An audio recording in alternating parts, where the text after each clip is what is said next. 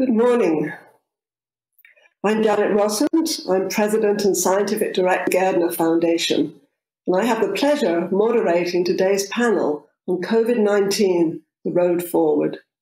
This is the first of the Gairdner Foundation's online global perspective panels. Since 1959, the Gairdner Foundation has awarded its prestigious Canada Gairdner Awards to some of the world's top scientists whose fundamental science discoveries have really changed our understanding and treatment of serious health problems worldwide. And in the current global pandemic, we're proud that many of our laureates are actively involved in many different aspects of COVID related research. Today, we're going to explore the science of coronavirus infections, the urgent search for new drug therapies and vaccines, and how to model the time course of pandemic outbreaks and the social and economic impact on vulnerable populations worldwide.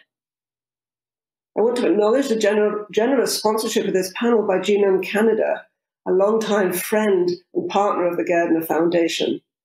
On April the 24th, the Government of Canada announced funding through Genome Canada for the Canadian COVID 19 Genomic Network, CanCOGeN.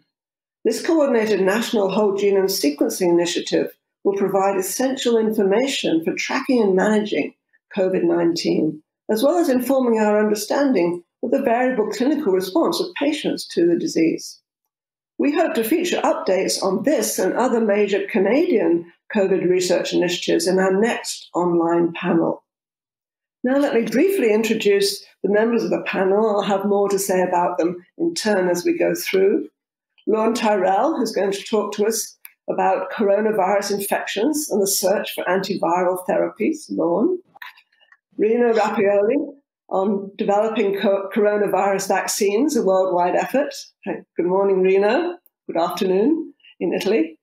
Christopher Murray, who's going to talk to us about modeling corona out- coronavirus outbreaks. And Quarraisha and Salim Abdool Karim on implementing community interventions in South Africa. Each speaker is going to give a short talk and then we'll have a Q&A session addressed to all the speakers. Those of you who are watching online, you can submit a question through the chat function to any of the speakers or a general question. We'll try to pick up some of those questions during the Q&A, but obviously we will have time limitations, so we'll see how well we can do. So first up is Lorne Tyrrell, Lorne is the founding director of the Li Ka-shing Institute of Virology at the University of Alberta in Edmonton, Alberta, Canada. He's, uh, he was also the chair emeritus of the Gairdner Foundation Board of Directors for many years.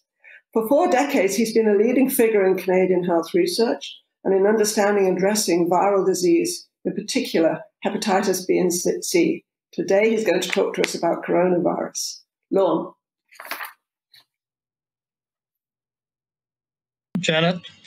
It's my pleasure to uh, speak to you today on coronavirus infections and uh, the search for antiviral therapies. Can I have next slide, please? Human coronaviruses have been around, first identified, I think, in 1967 as part of the common cold viruses, and there were four coronaviruses that have been identified as circulating in the population uh, causing uh, mild or relatively mild respiratory infections. However, in the last two decades, we have seen the emergence of very severe coronavirus infections. SARS in 2002 that resulted in uh, about 8,000 patients infected and about uh, 800 deaths, or almost 800 deaths, uh, with a death rate of about 10%. Uh, MERS, the Middle East respiratory syndrome with a death rate of 34%. And finally, SARS coronavirus 2, COVID 19, our epidemic today. Next slide, please. Whenever there's a new virus like this, we undertake public health measures initially. And the first approach uh, to this was able to control the SARS and the MERS epidemics and is struggling now to uh, deal with the COVID 19. Antivirals are critical to modify disease outcomes. sometimes there's no vaccine, and antivirals alone have been the drugs that have controlled the diseases. The best examples are HIV AIDS and hepatitis C virus, where antivirals alone have managed these diseases. Of course, what we all are waiting for is a vaccine, a vaccine that will prevent this disease, and clearly prevention is the ultimate goal. Next slide, please. So as we look for new antiviral agents, there are really, we looked at repurposing drugs that are already licensed. The advantage of this is that it is fast. The disadvantage is they may not be as highly effective as we would like. The second way is to discover new antivirals.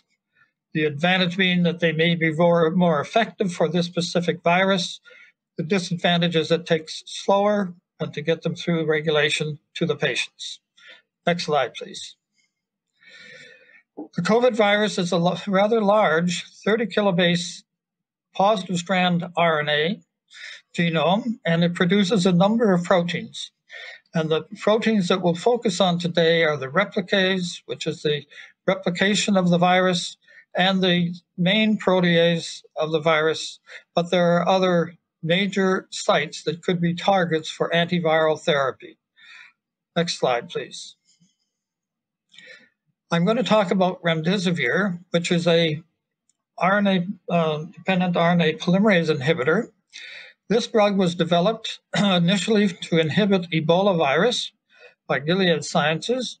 It was tested in Ebola and did not really work as well as we hoped in that trial.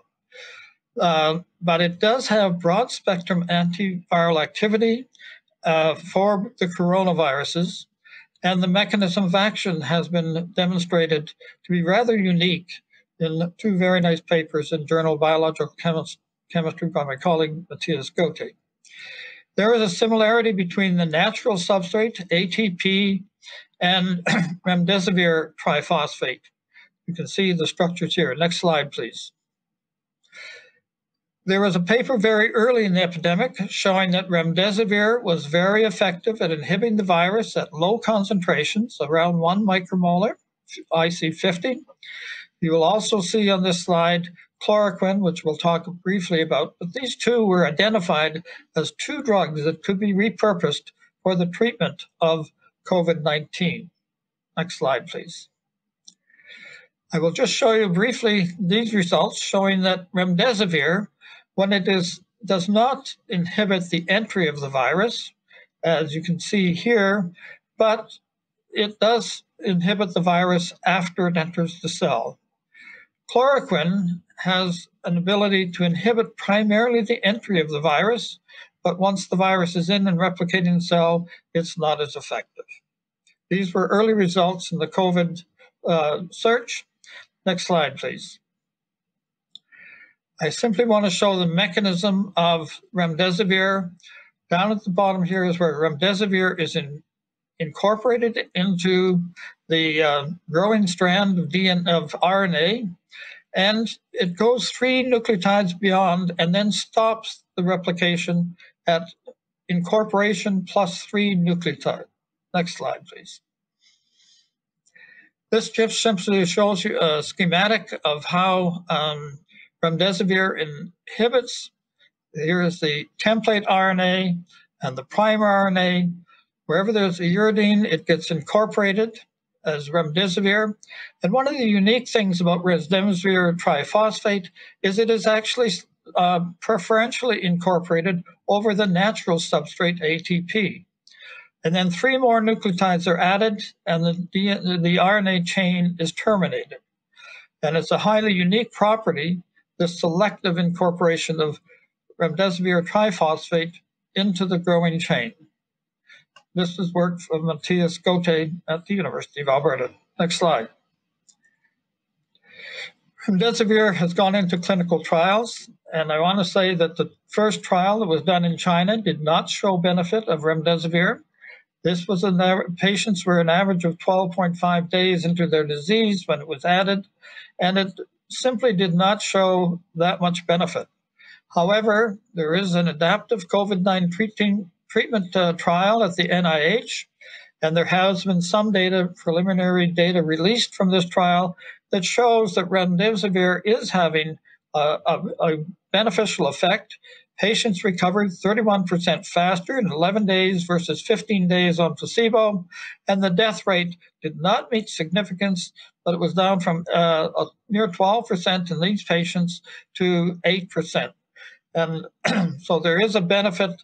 Uh, certainly in the recovery was significantly shorter, uh, and the death rate was nearly significant. I think the trials will be released soon, and we'll see the final results of these trials. However, based on this, there is emergency drug release for remdesivir in a number of countries, and Gilead has uh, authorized a number of countries to synthesize remdesivir, uh, as well as Gilead is making a lot of it. Next slide, please. The advantages of remdesivir is it prefers it's preferred over the natural substrate and the mechanism. Another very nice paper just came out showing again that the resistance to remdesivir is going to be low. It resists the proofreading that is normally present in the virus because of this unique mechanism. And that means resistance will not be easy to develop to remdesivir. The disadvantages that there's an IV administration and supply issues, at least temporarily, will be an issue as we're already seeing. Next slide, please. Chloroquine and hydroxychloroquine have received probably the most attention as potential anti- antivirals working against COVID. However, the clinical trials coming out have shown, next slide, please, that in prospective studies, the one done by the U.S. Uh, Veterans Administration medical centers released showed that chloroquine or hydroxychloroquine plus azithromycin uh, did not have any advantage over the standard of care treatment. And there was an increased mortality rate in patients on the hydroxychloroquine alone. And uh, these findings highlight the importance of awaiting results from ongoing prospective randomized control studies before there is wide uh, spread adoption of these drugs. And I think that uh, we have seen that a number of cases where chloroquine has been used and concerned with the cardiac side effects and with the efficacy in treating the disease. Next slide, please.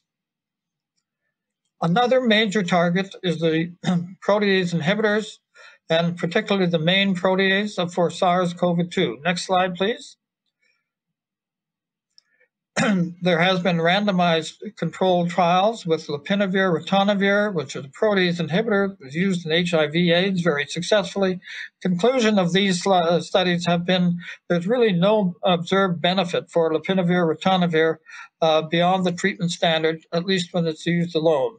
There are studies go- ongoing with beta interferon and lopinavir that may be different. Next slide, please. A very promising candidate for a protease inhibitor has been used in veterinary medicine uh, to treat a disease caused by coronavirus, a fatal feline infectious peritonitis, which is often fatal in cats and can be significantly improved with the treatment of this with these protease inhibitors. Uh, the most promising candidate is GC376, and there have been four papers in the last month emphasizing the importance of seeing this protease inhibitor move into clinical trials. And I would say today, uh, this is there is an approach to the uh, FDA about a phase one trial that will start with uh, GC uh, 376. Next slide, please. We have uh, been working with this particular protease and isolated and purified it, made crystals, looked at the structure and co-crystallization next uh, with the protease inhibitor. Next slide, please. We've also seen that this is very effective against the COVID virus with an IC50 that is uh, uh, for the 376 is under um, one micromolar, and it is a very effective inhibitor without causing cell toxicity. Next slide, please. So it will be going into trials, but there are approximately 60 compounds currently in clinical trials in over uh, 100 or uh, clinical trials. I just want to say that in hepatitis C, non A, non B was described in 2000, I mean, 1974, the virus discovered in 1989, and effective antivirals really in 2013 14. Decades from discovery to the antiviral therapy. In HIV AIDS, the disease described in 1980, the virus in 1983, the first antiviral in 1986.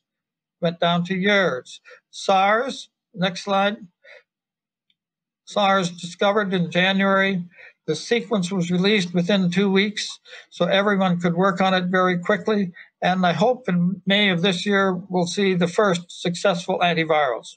It has gone from decades to years to months, and the whole world is working hard on SARS to bring antiviral therapy. Let me say that these studies are showing the value of double blind controlled trials. I would also say that the stage of disease is very important. In this case, we're dealing with an acute disease, and early treatment may alter the course of this disease much more than seeing the challenge of late disease is a huge channel, challenge for antivirals. Let me simply say that in some cases, if you use the antivirals late, they show no benefit. Use them early, they have tremendous benefit. The best example would be shingles and zoster. COVID 19, will there be a second wave and long term circulation? We do need antivirals to address this aspect. Next slide, please. We would hope the ultimate goal is an oral antiviral, highly effective, with few side effects. I think this would be able to be used in short term, five to 10 days, not lifelong therapy, as we see in some diseases. And what you're really aiming to do is change the course of this disease. Next slide, please. Sorry, the may not be a next slide. That's fine. I just want to say that the tremendous international cooperation between scientists and institutions is illustrated by a recent publication in Nature by David Gordon and 125 authors illustrating the collaboration from 30 institutions and they examined the protein protein interaction of 29 of 26 of the 29 proteins of covid. And they demonstrated 300 excuse me 332 protein protein interactions, and 66 are druggable targets. And 29 of FDA approved drugs could have some interaction in those sites. This illustrates the type of scientific collaboration around the world, the tremendous possibility we have of finding uh, drugs on a more rapid basis. And I believe that this ultimate goal is achievable. Thank you very much. Thank you, Lorne. That, I think that's a really good start. It's giving us a good understanding of the virus, how it works, and indeed how some of the candidate antivirals work as well. I'm now going to turn to Rino Rappuoli, who is the chief scientist and head of external R&D at GSK Vaccines in Siena, Italy. He's the 2017 Canada Gairdner International Award laureate for his work on reverse vaccinology, a genomic approach to vaccine discovery. And Dr. Rappuoli is a leader in vaccine innovation and implementation worldwide. Rino. Well, thank you. Uh, thank you and good morning. Um, today I'm going to talk about vaccines. I'll also mention uh, slightly human monoclonal antibodies because very likely this will be uh, among the first drugs specific for uh, COVID-19 that will be uh, available. Uh, next slide is an introduction to vaccines. Uh, this is actually a work that we did back in 2002 when SARS uh, came.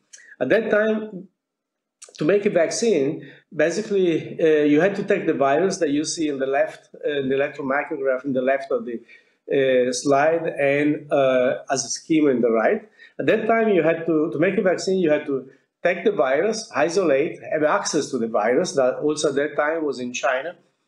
Uh, uh, difficult to get access to. You had to grow it uh, in first in the lab, then in big fermenters. Then you had to inactivate uh, the, the virus to make sure that it was killed. And uh, then you purify and finally you can make a vaccine and inject it. That was a long process, uh, had to grow a dangerous virus, and took at least a year or two just to get to the, uh, to the first vaccine in the lab. Um, that things changed completely in the next slide uh, back in 2013. In 2013, on the Easter day, basically, the Chinese at that time also put on, uh, they described the potentially pandemic influenza virus as 7 and 9, and they put the uh, sequence on the internet. Uh, on that day, basically, uh, on, East, on Monday of Easter, basically, us and Craig Venter uh, Synthes used, downloaded the sequence from the internet, made a, a, synthetic gene, and in a week we had a synthetic RNA vaccine ready to go into animal models. That was the first time that basically uh, we could actually do uh, a vaccine without having seen the virus, without, without access to the virus, but just by using the information downloaded from the, from the internet. Next slide shows schematically what the big change. Uh, basically, instead of shipping viruses across the world, we're basically shipping information through the internet. And you basically uh, teleport the sequence of, if, of the uh, genome of the virus and basically uh, in somewhere else, in a different place in the world, you download information, you make a synthetic gene, and you now can make a vaccine. Uh, next slide is still a different way of showing the same thing, just showing that you uh, ship the information of the sequence across the world, and then and then you can make a synthetic vaccine. Now, this was a pioneering work back in 2013. Uh, today is basically technology available to every academic lab or any uh, uh, industrial lab. The consequence of that, that when on January 7, the Chinese uh, CDC put the information about the sequence of the genome of the uh, COVID-19 in the next day, basically every lab in the world was enabled to make a synthetic gene and to start to make a vaccine. Next slide shows what uh, the economist uh, basically says that uh, immediately we had a lot of laboratories worldwide uh, working on making vaccines. Today there are more than 170 vaccines described in, in research. And just because it's become easy to make this part of the, the thing. Which are the vaccines which have been done? The next slide is still taken from uh, an article in The Economist, which describes the three main vaccines. And here I have labeled them one, two, and three. Uh, number one are nucleic acid vaccines, mostly RNA vaccines.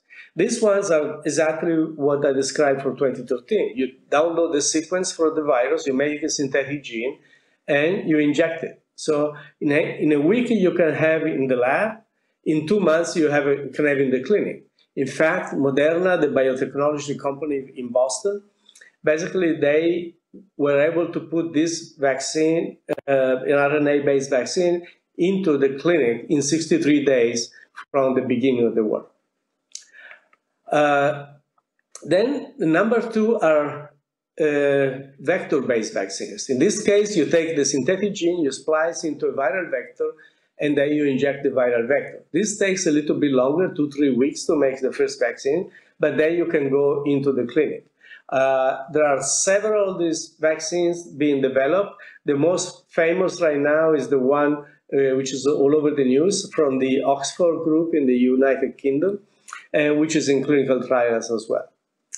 Uh, the third one is a more classical vaccine. It's basically made by purified uh, spike proteins from the virus. Uh, this takes a, take a little bit longer to make because you take the synthetic gene, you put into a mammalian cell, usually CHO, and then you express the protein, you purify the protein, and then you finally, once you have the pure protein, you in, use it alone or in combination with an adjuvant. An adjuvant is also mandatory, uh, almost mandatory at this point, and, and then you can make it. Um, so the good, mm, the properties of these three vaccines are shown in, in the next slide. There's a text uh, that I will not go through it. I will just summarize what I say. Basically, RNA vaccines are, uh, as I said, the most rapid to make, very quickly. You can do it. Uh, the only question we have about RNA vaccines is that there is no licensed RNA vaccine today. Uh, this is a wonderful technology. I'm pretty sure in 10 years will be uh, a, the one of the most important technologies to make vaccines. But today is very early. Have been few uh, clinical trials, never been manufactured in very large scale, never been used for safety in very large scale. So very promising. Uh, the the fastest one, but it's going to take a while to. Uh, I mean, there is there are the risk of uh, going through uh, vaccine licensure for the first time. The second one, the viral vectors, are a little bit more mature.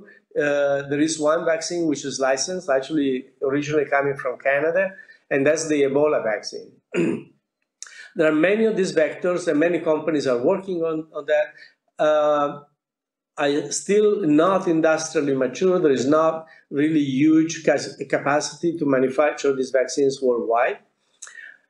Uh, but uh, reasonably safe and already one vaccine license. The third one, uh, traditional protein-based vaccines, are the ones take longer to get to the clinic. They will get to the clinic by the end of the summer, I believe. Uh, however, these are the vaccines for which we have a huge experience. And the industry has a, a lot of capacity, can manufacture in hundreds of millions of doses. Safety has been established for many vaccines like hepatitis B, papillomavirus, uh, and basically uh, we have a lot of experience and they are mature. Uh, so I believe if we're going to need uh, hundreds of millions of doses or billions of doses, uh, these will be the vaccines that will make it uh, in such a number, large number of doses.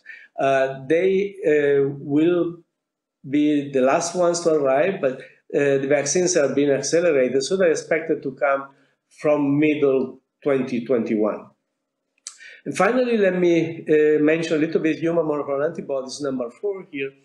And because uh, today you can make uh, human monoclonal antibodies by basically isolating memory B cells from convalescent people. And these ones can be developed very quickly because we have confidence on the human monoclonal antibodies have been more than 50 products have been licensed already.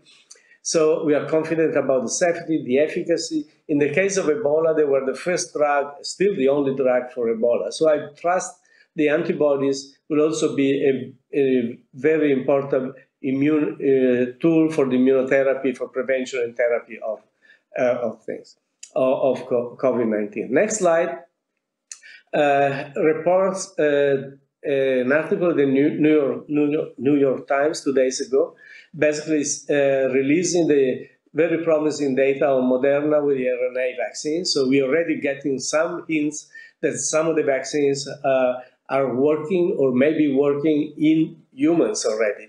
It's incredible. I mean, few months ago in January, we had no idea about these vaccines. We already have data from humans. Very promising. Uh, so um, it's likely we're going to have some good vaccines. Next slide shows the reality. What I told you about today is uh, so far is basically uh, what it takes to make a vaccine. Uh, here, what I described so far is basically 10% of making vaccines. 10% uh, uh, of the entire work that is required to make a vaccine is the work you do to have a, a, a vaccine in the lab. Success rate here is 80%. Uh, then you need to go to clinical trials. Here from basically of the under, I expect only 20% of the under 70 projects will get to clinical trials. We already have a four or five, maybe we get 15, 20. Then the rest of the 70% is what remains next, which is basically big investment, um, big manufacturing, scale up, clinical trials, licensure. And there I expected only 5%, and I hope it will be 5%, maybe less, uh, will get to the, uh, to the finish line. Um, so how many we are going to get there? Uh, probably five, maximum 10 vaccines will get to the finish line of the under 70 which are uh, initiated now. Uh, I hope they're all going to be su successful because we're going to need probably, if you want to control this uh, pandemic, we will need really hundreds and hundreds of millions and maybe billions of doses. Um, timing to get there, uh, I'll say maybe we may have some million doses by the end of this year some of the pioneering vaccines, maybe maybe the viral vectors, maybe the maybe the RNA, but the big volumes will come uh, middle next year uh, and by the end of next year. Finally, the last slide I think is going. The next one is uh, recommendation. We need a global coordination uh, CEPI, Gavi, WHO are trying to make a global coordination, uh, but uh, and hope they're going to be successful because there are also uh, uh, other initiatives where a lot of nation- nationalism, basically people want the vaccines for their countries, not for the globe, and they forget that uh, if we really want to conquer this virus and basically control the pandemic, uh, cannot control in a country. We need to control globally. Uh, we have seen announced a few days ago the Warp Speed, the USA initiative, uh, and, so these are the main activities that are going on worldwide. And I hope that it's going to be global coordination and we'll be able to control this uh, uh, this pandemic. I do believe vaccines are possible uh, and they will be successful. And with that, I'll thank you for your attention. Thank you, Rino. That's that's uh, very informative, and I'm, already there are questions coming in, obviously on the vaccine uh, level, and we'll talk some more. Our next speaker is Christopher Murray, who is director of the Institute of Health Metrics and Evaluation and professor of global health at the University of Washington in Seattle. And along with longtime collaborator Alan Lopez, he received the 2018 John Dirks Canada Gairdner Global Health Award for conceptualizing and quantifying the global burden of disease. And this is really a part of his very extensive career in understanding and interpreting the data of health outcomes worldwide. So, welcome, uh, Chris. Thank you, Janet. Uh, next slide, please. So uh, I come from the Institute for Health Metrics, and sorry, we're jumping around. Uh, thanks.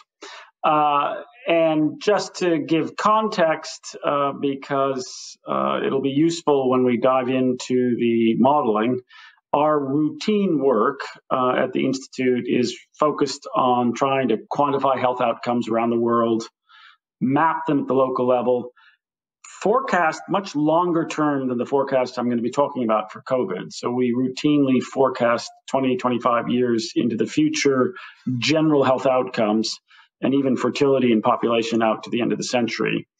And then we also do work on tracking where health resources go and health systems. Next slide.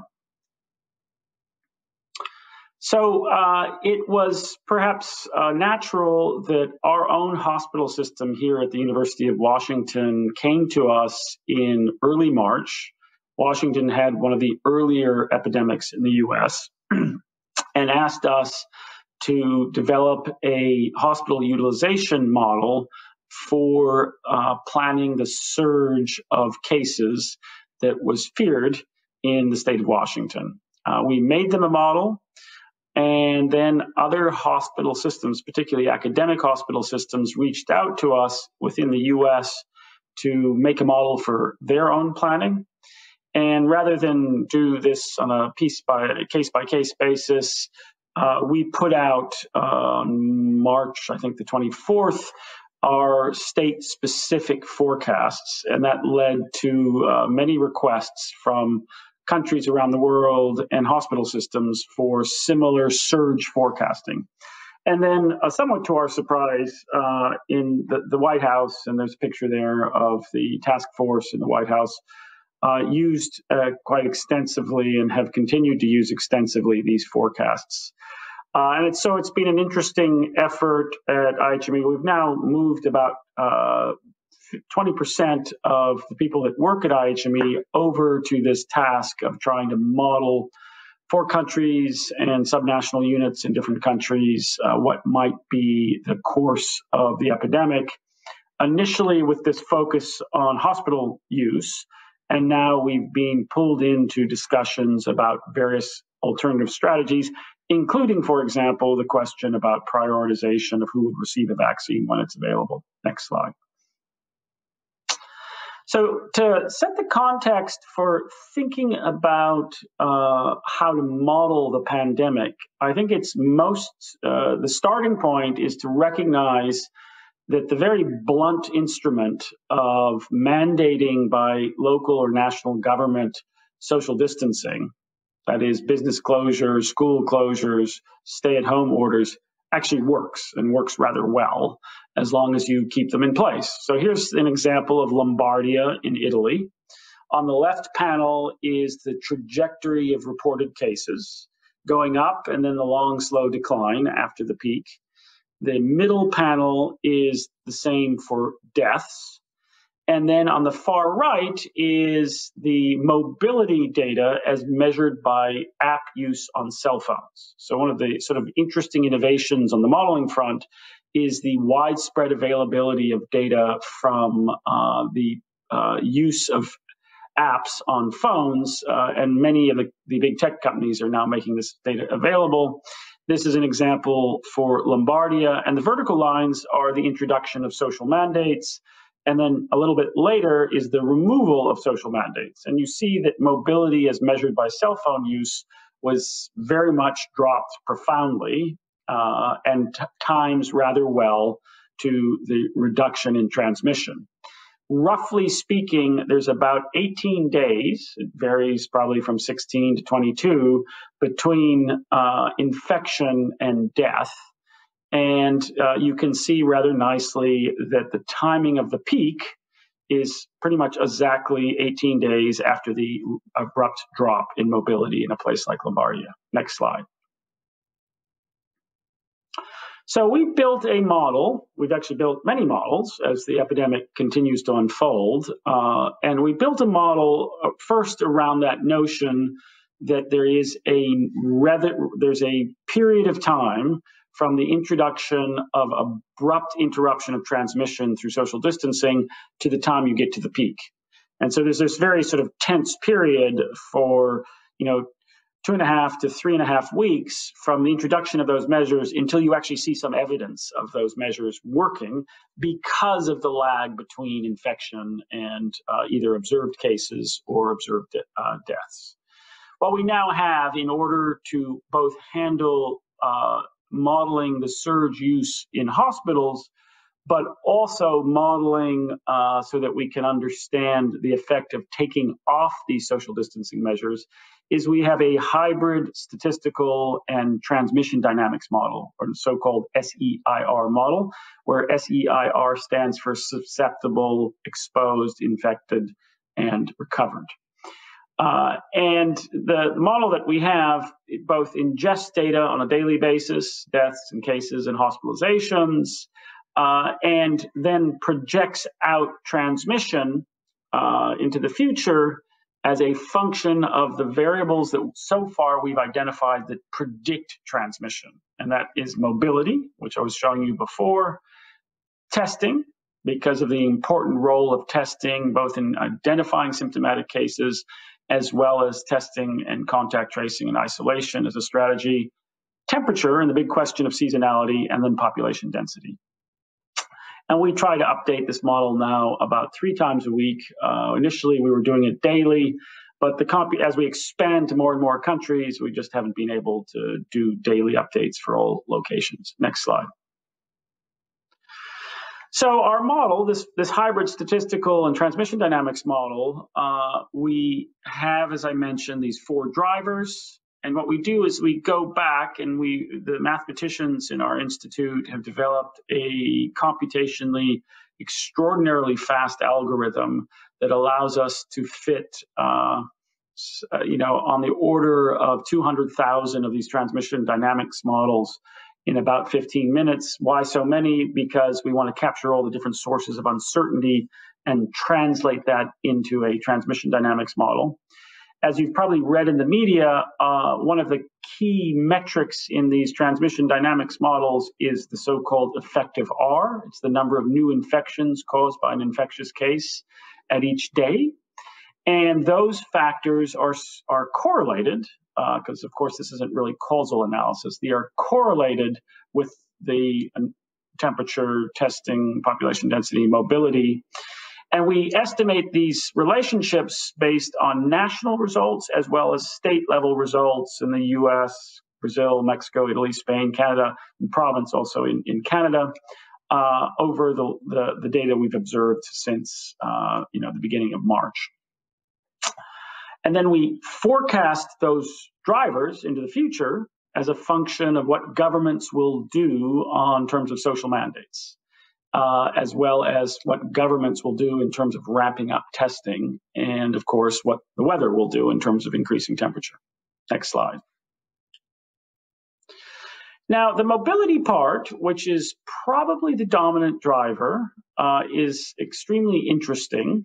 Uh, mobility, as measured by cell phones, is a proxy for uh, trans, you know, the risk of transmission between individuals.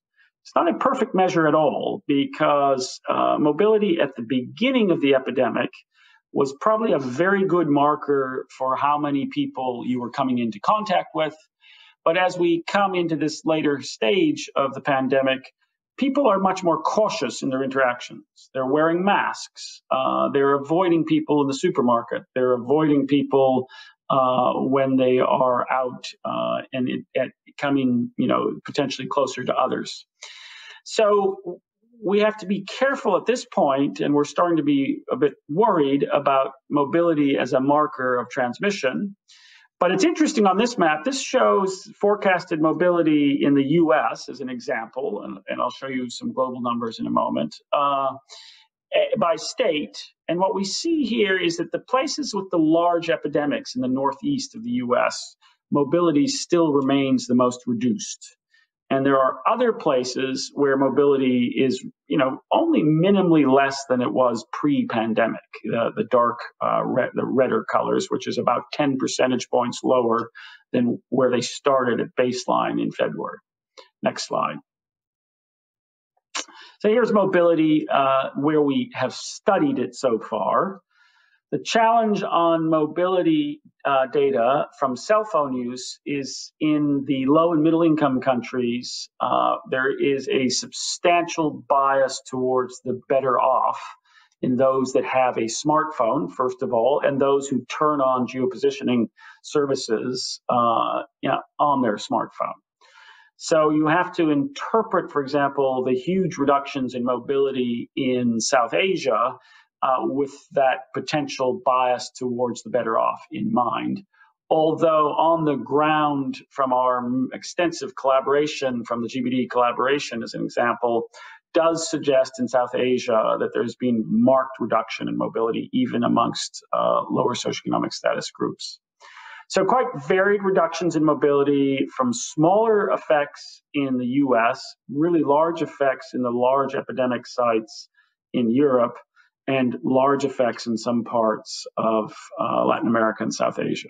Next slide. So we take all the information, we stick that into the, the modeling framework. Uh, here are results for the US, and we run those models forward. So far, we've been running these models forward only till August. Uh, we started off, remember, with this view of helping hospitals plan for the peak. And so the main concern we originally had was predicting the peak. We are now well past the peak in the United States, even though that, as you can see, the tail of that decline is very long and slow. Uh, and we foresee, you know, in the next uh, period of time, you know, two and a half months, a total of 143,000 deaths in the US, with pretty large uncertainty ranges on that total. Uh, although it's been interesting in the public uh, communications how little interest there is in ranges, and both government and the public seem largely interested only in the mean effect. And that's part of the, the challenge, I think, in communicating this. We produce uh, both the, the number of infections that we think that occur, and that's on the right-hand panel, the, the number of confirmed cases, which of course is a very small subset of infections. And then testing is the other line that's shooting up on the, on the diagram on the top right. And the bottom is the hospital usage estimates, as well as ICU and ventilator usage estimates. Next slide. Here's for the US uh, by state, and it just points out how, even in the models, uh, how different the magnitude of the epidemic is likely to be across states. And while we uh, can model this out and put in the factors that uh, we, we can uh, try to account for, there are many aspects of why some states and countries have much smaller epidemics than others that remain a little bit of a mystery. We can't really explain all of this variation with the currently known or understood factors. Next slide. Here's for Canada. We model these uh, provinces that have large epidemics like Ontario and Quebec. Uh, some of the provinces have such small numbers that, you know, effectively there's so far minimal transmission. Uh, and here's our aggregate of the, of the provinces that we're able to model uh, because of action in Canada earlier than in the places in the US with large epidemics like in the Northeast uh, we don't foresee numbers anywhere near even adjusting for population commensurate with what we've seen in, in bad states in the United States. Next slide. Well, where are we going next in this work? Uh, we are expanding our uh, projections to sub-Saharan Africa, to India, as, as, well as other countries in South Asia. And I think within the next few weeks, we plan to have estimate uh, forecast models for all low and middle income countries. There are some uh, big challenges in doing this. Uh, we can rather easily run models, but because we can't uh, explain why, for example, to date, we have seen very small epidemics in sub Saharan Africa and South Asia, and we can't explain why we're seeing such large epidemics in parts of Latin America we remain rather concerned about how to make uh, projections for low and middle income countries. But the, the, the need to plan is there. And so we will try with all the caveats and all the uncertainty uh, to, to fill that need. The other thing that we are actively pursuing, which hopefully will not be too much longer, is translating our modeling framework down to the county level in the US. Why is that useful? Well, both it helps planners at that level, but it also allows us to more directly capture these micro epidemics that happen in meatpacking plants or in prisons or in uh, nursing or elder care facilities. And we can more explicitly handle those and recognize that those often have their own dynamic that may be different than general community transmission. And then the other thing that we will be doing, with the caveat that uncertainty will be very large, is we will be extending our forecast to the end of the year. Uh, in a large part because there's a tremendous interest and demand for planning for schools and universities in the fall, as well, of, cor- of course, sort of planning for the other medical resources that might be needed. And as, as vaccines and drugs come online, uh, having that longer range forecast will help understand both how to prioritize and what might be the demand uh, for those products. Next slide. So there are, uh, as I've mentioned along the way, there's a disconcerting number of puzzles out there. The puzzles that are perhaps the, the ones that um, are the you know the hardest to uh, fathom right now are the rising epidemics in Chile, Argentina, Brazil, and Peru. You can see numbers there for Rio de Janeiro uh, on the right of deaths and cases. And the reason these are puzzling is that these are countries that have had a full set of social distancing mandates, albeit Brazil state by state, uh, in place for seven weeks. And yet they are seeing uh, exponential increases in transmission. And you know the the cell phone mobility data suggests they've had huge reductions in mobility, and so this is really quite challenging for us to understand. Is it simply that there are some groups in urban slums, for example, that are not able to social distance, and that's where the transmission is occurring? So we're trying with collaborators in these countries to dig into the details and understand why these are places where the mandates that worked in Europe, in Asia, and the United States and Canada so far don't seem to be working in all places. On the reverse side, in Pakistan and India, where people thought that lockdowns would not be that uh, effective, we've seen minimal cases. Mumbai is an exception, and deaths. And so uh, either the lockdowns were much more effective in those low resource settings than anybody had given credit, credit for, or as some scientists in those countries think, there may be other factors that may be playing into innate immunity or uh, various theories out there about the microbiome. There's, there's a lot of hypotheses, not a lot of data yet to help understand this divergence. And then likewise in sub-Saharan Africa, we're not seeing much in the way of transmission. So that could be that lockdowns have been much more effective in those low resource settings than anybody gave credit for, uh, or there are uh, it, other factors uh, at, at play. So the modeling is an interesting challenge because there's so much that we don't understand, and yet we do need to try with large uncertainty intervals to do the best job that we can to help guide a whole series of immediate resource allocation decisions that governments and, and uh, funders uh, have to make. Thank you very much. Thank you, Chris. And now I'm going to turn to Quarraisha and Salim Abdool Karim. They're the founding leaders of the Center for the AIDS Program of Research in South Africa, CAPRISA. They're professors also at Columbia University in the US and pro vice chancellors at the Uni- University of KwaZulu Natal in Durban, South Africa.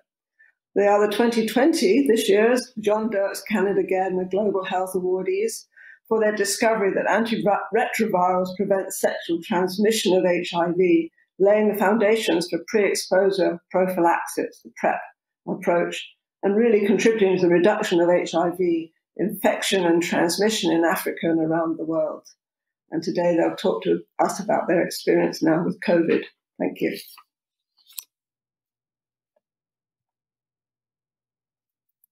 Sound. Can you hear me now? Yes. Thank you very much, and it's a great pleasure and honor to be with you all this uh, afternoon. Um, between Quarraisha and I, we are going to share with you some of our experiences in dealing with the coronavirus epidemic here in South Africa. In particular, we'll talk about some of the community interventions that we have initiated. Next slide. So when we look at the situation in South Africa, our first case was on the 5th of March. It was in a, a gentleman who just returned from Italy, and that set the whole uh, psyche in South Africa on a different footing. Until then, it was a problem somewhere else. From the first time, from the first case, it suddenly became real. We had very quick action. Within a matter of about 10, 12 days, the president declared a state of disaster. Under that, he was able to initiate certain interventions, including uh, stopping international travel, closing the borders, closing schools, and so on. And about two weeks later, he initiated a national lockdown. It was a very strict lockdown, including things like uh, banning alcohol sales. And over the period of the lockdown, we've had a steady increase in uh, testing, and we have seen the way in which the epidemic has grown, and I'll talk about that in a minute. And over the last few weeks, the, the government has now started uh, easing the lockdown in a staged manner. And At this point, we remain still under quite a strict lockdown, uh, but it's now at level four, and the cases are now starting to rise in one of the jurisdictions of South Africa. Next slide. So if we look at the, the period during which we first started seeing the cases, it was quite striking that the doubling of the number of cases in the initial period for the first three weeks and a bit was two days. Every two days, the epidemic, we have more than twice the number of cases. Since the institution of the lockdown, we've had a total of uh, several thousand cases, about 5,000. And the doubling time during that period was about 15 days. And then since the easing, the, the doubling is now coming down. It's running at about 11, 12 days. And this is just one indicator, recognizing that doubling time has its challenges in that it is influenced by the number of tests that are undertaken. Next slide. So as we look at the, uh, the response, the primary goal of the South African COVID-19 response is to flatten the curve. And it's really on the basis that without natural immunity, that everyone in South Africa is at risk, and that the way in which we wanted to approach this was to ensure that we were able to introduce interventions that would reduce the peak and postpone the peak for as long as possible. Next slide. And to do that, we've instituted what is referred to here as the Coronavirus Prevention Toolbox, which introduces a range of interventions, including the usual that everyone is familiar with in social distancing, hand sanitizing, and so on. Next slide. I'll now hand over to Grace. Thanks, Lim. Thanks, Janet. Uh, greetings, everyone. It's a real honor and privilege to be here. Thanks to Salim for setting the scene in terms of the epidemic trajectory in South Africa and also uh, highlighting what the available public health tools we have to respond to the epidemic. So we have a number of things even as we wait for a vaccine, and we don't make everything or bring everything to bear depending on where we are in the epidemic. Uh, but we're very strategic in terms of what combinations of interventions are most appropriate. System has also highlighted um, the stage one and two of the epidemic in South Africa and where we are now in terms of responses is what I will highlight and focus on, which is on stages uh, three, four, and five. We have the next slide, please.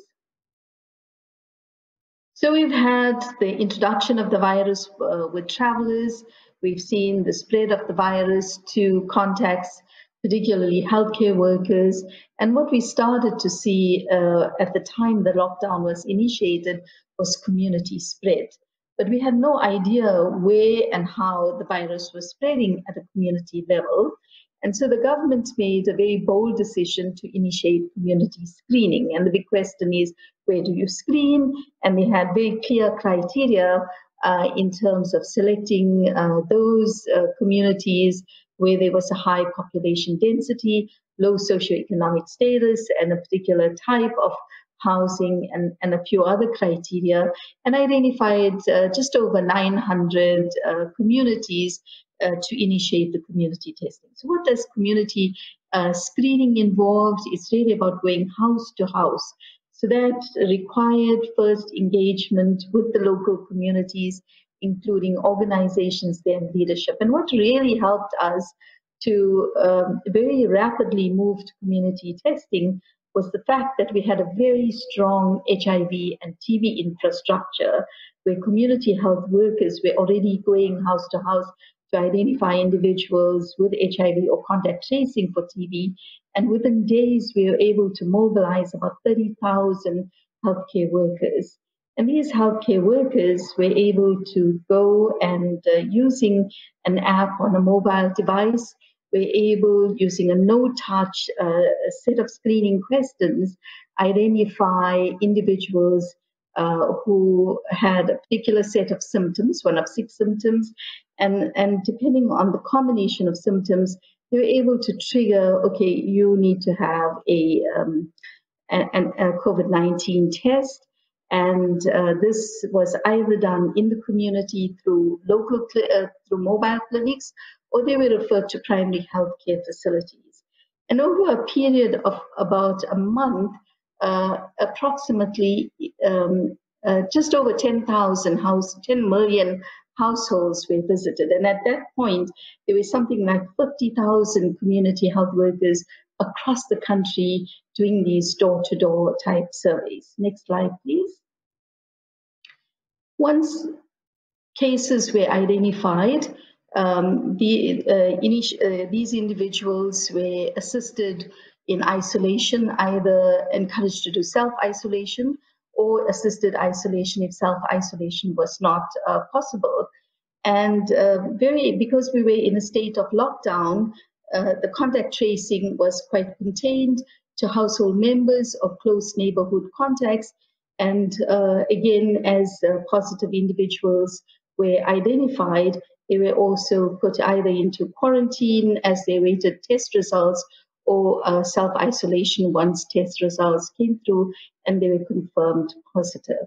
So, what we are able to do is in uh, real time monitor how the screening coverage was happening and also where the cases were in terms of geospatial distribution.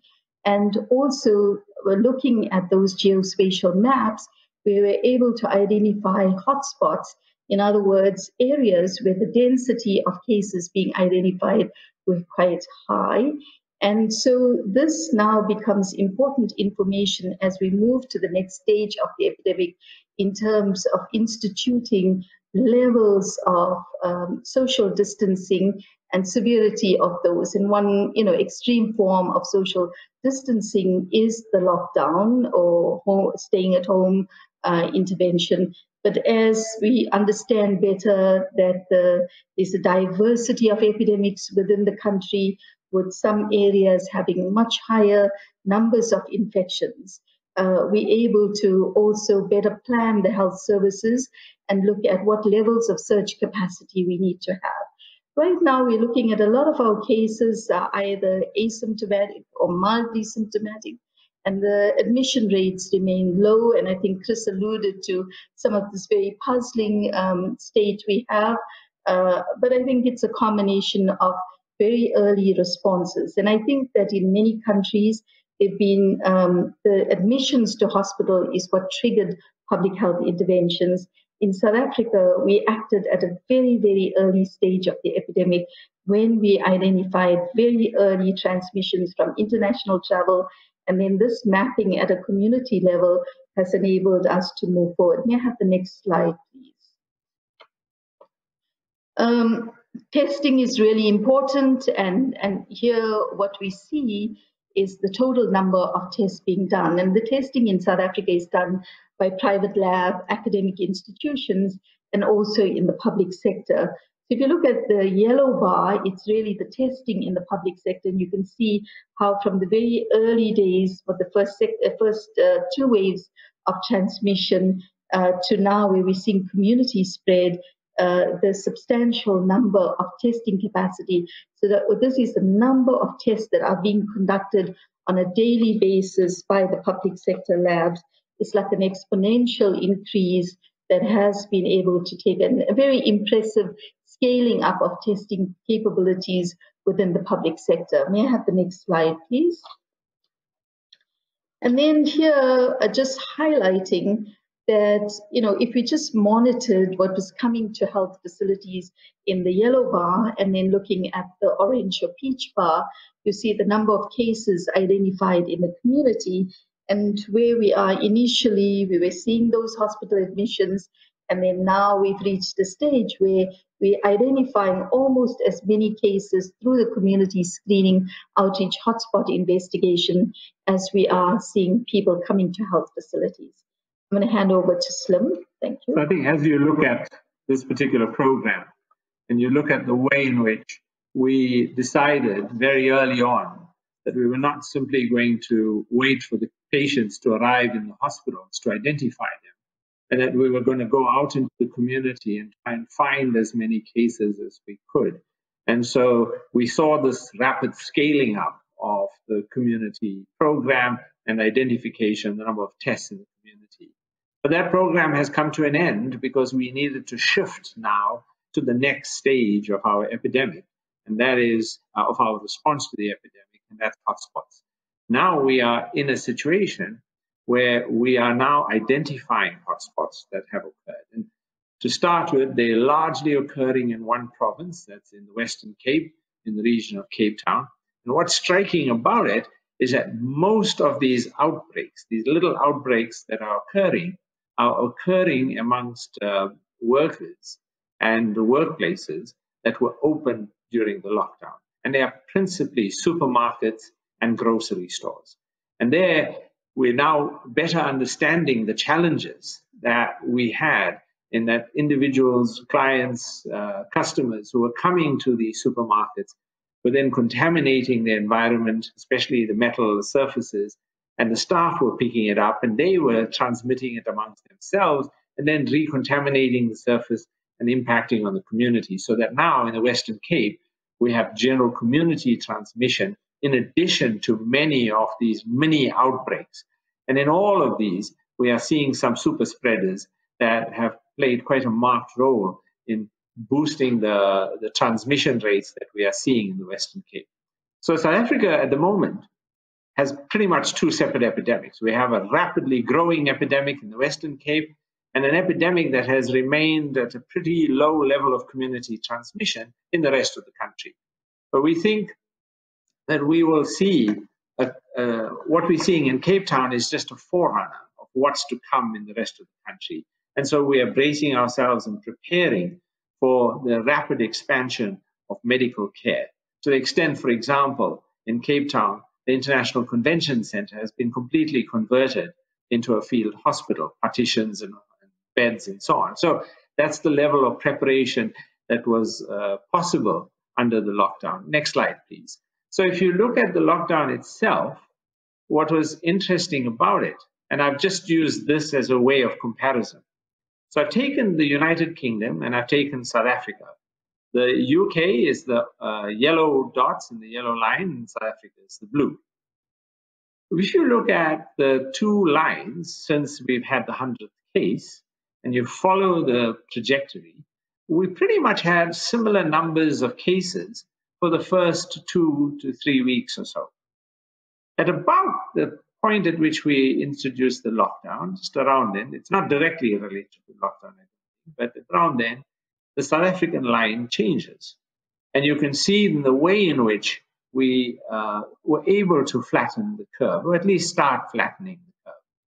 Now, you know, it's always a challenge to sort of figure out how much is how much of this can be attributed to the interventions because you don't have a, a, a, counterfactual.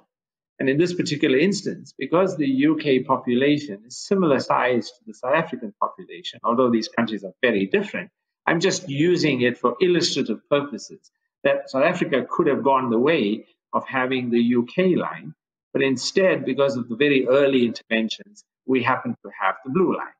And in that period, what has been central is we've done four things. The first is we've rapidly scaled up testing and the capacity to do that testing. We scaled up our prevention program through the community screening, and we could do that because we had all of the people ready uh, and had been trained and were already doing work on TB and HIV. They were redirected to work on COVID. We were able to start preparing the healthcare service, uh, doing the training, uh, boosting the uh, availability of PPE for the nurses and the doctors, and then we built the field hospitals. And so all of these parts of the activities that we now feel like we're in a better place and better prepared to deal with the, the coming burden of the surge that we are expecting. Next slide. And I'll just end off with just pointing to the effective reproduction number. I mean, there are challenges to interpreting this because it is dependent on the number of tests. But it is striking when you look at the initial period that we had a reproduction number in close between somewhere between two and three. It's pretty high uh, confidence intervals because of the numbers being small at that point in the epidemic. But with the institution of the state of disaster and stopping the travel, the schools, and so on, that comes down quite rapidly to below one. But then it starts picking up again, and about the time in which we instituted the lockdown. And so since then, we've had a reproduction number that's sort of just hovering over one. So as it stands, we anticipate that the epidemic will continue to grow because of the effective reproduction number being somewhere in the region of one, between one and two, in the somewhere in the middle between those two. And as we think about the next steps, our goal in the hotspot part of our response is to try to continually contain the rapid spread of the virus so that as the cases occur, we will be able to have the required amount of uh, ICU beds, respirator, um, uh, ventilators, and all of the medical care requirements that we will need to try and maintain a low death rate. Thank you very much. Thank you. Thank all speakers. Was a very informative session. Now I'd like to get everybody on screen uh, and we'll turn to Q&A. so I'm going to moderate this uh, session. I have uh, some individual questions for the speakers, um, some of my own, some that came in from uh, people who are listening to you today. Uh, and then we'll have some general questions. Maybe you have questions for each other as well.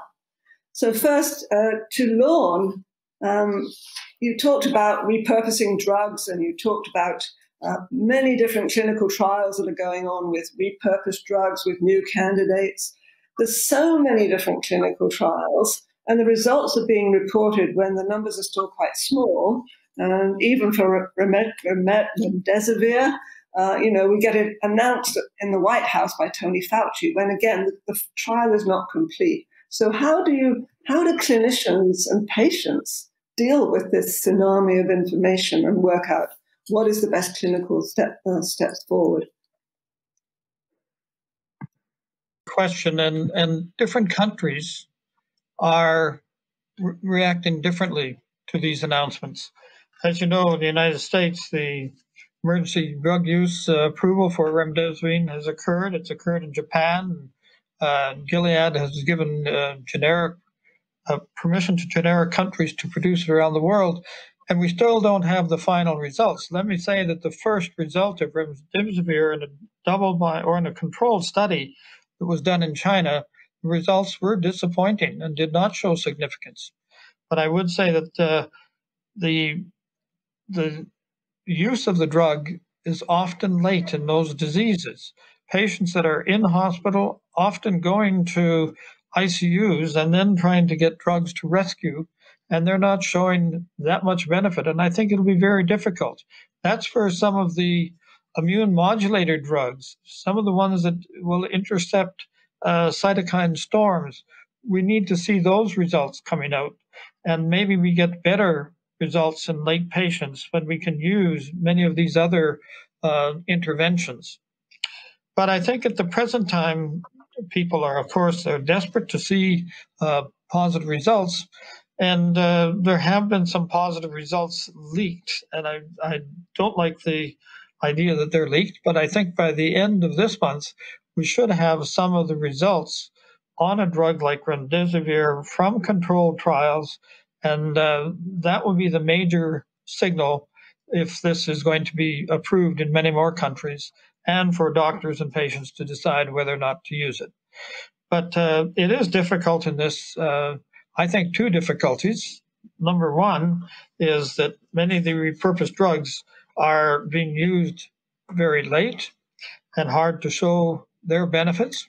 We have some good studies going on where the intervention with some of these drugs will be much earlier, and we'll see if there is true benefit or not. But we have to wait for those results. So one, one question from the audience on remdesivir is that there have been reported side effects. So, so, you know, is this going to be a safe treatment? I think the, the issue you have to weigh here is the duration of treatment and the side effects. And I think when you're using a drug that has some side effects, and remdesivir will have some side effects, in particular uh, probably hepatotoxicity, but uh, you may be able to use these drugs for a short enough period that you will put up with some side effects, uh, given the benefits, if they have the true benefits in treating the disease. So you have to weigh risk versus benefits of this, and I think that uh, we will see that there are, for the short courses of treatment, and as you know, some of those courses are only five days, then I think you will be looking at uh, how we balance those as clinicians. Okay, and you, you mentioned um, the, the, the cytokine storms or toxic shock. That was another question that, that came up. You know, that's obviously another very important uh, factor, particularly in the late stages of the disease. And so, where are we on research to really try to modulate the immune and inflammatory responses? Well, I think that's a very important part, and I simply didn't have time to cover uh, more than I did. But cytokine storm and immune modulators are going to be extremely important. And also, I think there's a difference in patients, and some patients will particularly the young patients are going to have more of a cytokine storm in their rapid disease. And that's where the immune modulators might have tremendous benefit. And we just have to wait for those results. There's a number of immune modulators that are in clinical trials at the present time, some of them used with drugs, some of them used more on their own. And I think it'll be very important to see how they modify the disease in patients that have truly got an immune storm. One of the unusual things about this, of course, is the high death rate in patients in their 70s and 80s, and age is a killer factor. And cytokine storm is more likely to occur in younger people who uh, mount a very strong immune response compared to older people where we have a high death rate. And it's hard to imagine that that is all related to cytokine storm. Uh, I believe this is more a direct effect of the virus and the immune response in the lungs, but not necessarily the same type of cytokine storm we see in younger patients with rapid progressive disease. Okay, thanks. I'm going to turn now to Rino, and there are quite a few questions for, for Rino on, on vaccines because, of course, everybody everybody is hoping and waiting for a, a vaccine. And I think you you illustrated very nicely uh, that we are, in fact, on an incredibly fast time course to, to develop a vaccine, but that there are still many challenges to going from the initial development to actually getting a, a vaccine into population at, at, large. So one question that came up was really specifically around the RNA vaccines, for which there has been, I would say, to some degree, uh, rather a lot of hype. I mean, Moderna's results were on eight patients, which is very promising, but it's eight patients. Um, and so, you know, what are the challenges specifically for an RNA vaccine to get to the clinic? Is it really about being able to produce enough uh, doses, or what, what are the other challenges along the way? Well, RNA vaccines, as I said, um, they they have only one problem. They are very early uh, in, and I guess without COVID, it was going to take another 10 years before they could get to the market.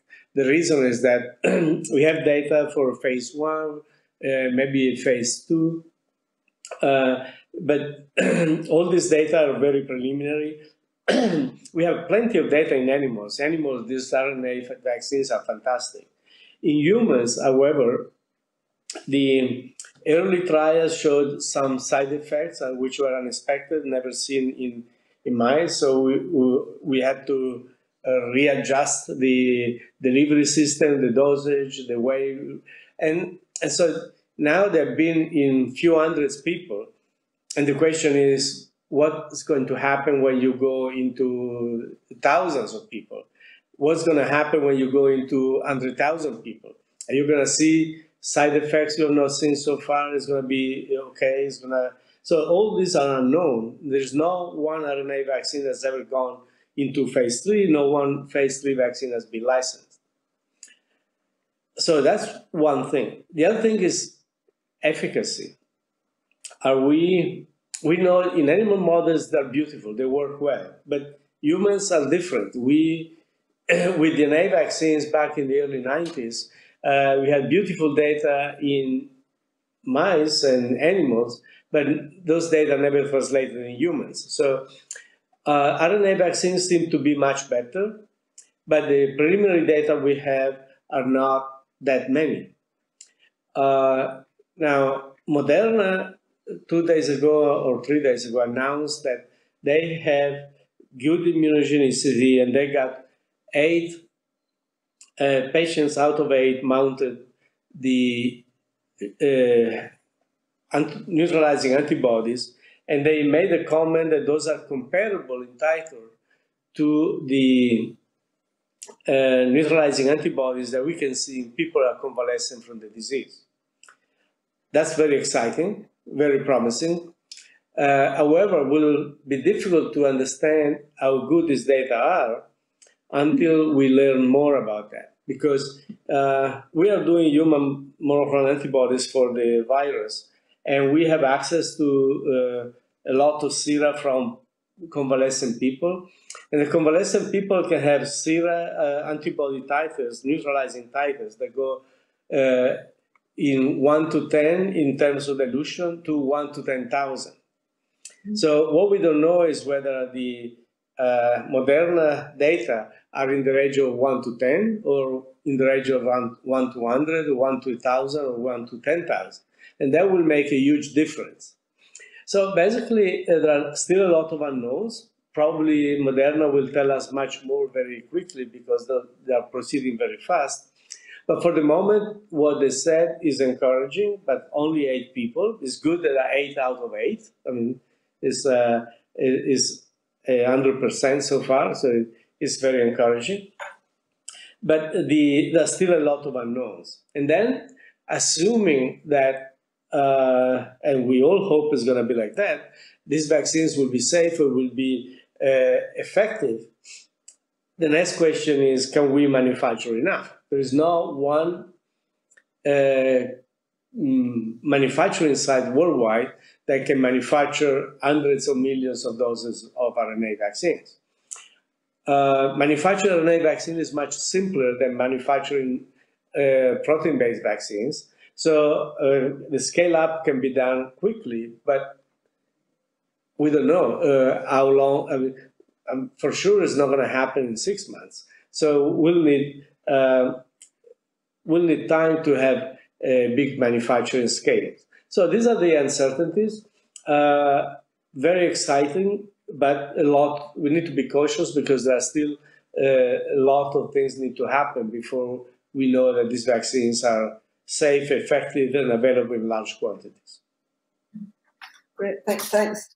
That's very helpful. Um, so uh, coronaviruses, we don't have a lot of vaccines against coronaviruses. I guess there are some against animal coronaviruses, but yeah. are, there, are there specific reasons why coronaviruses might be difficult to generate a good vaccine against, or is it just that it hasn't been pushed very hard?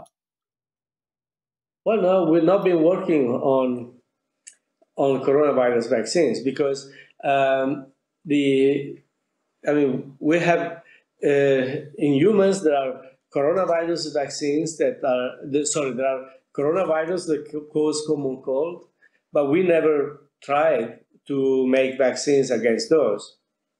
Uh, and there are not commercially available vaccines, and I never remember of efforts to make vaccines against those. Uh, then uh, the real dangerous ones are the uh, SARS, uh, like coronaviruses, and the first one came in 2002. We started that time to make a vaccine.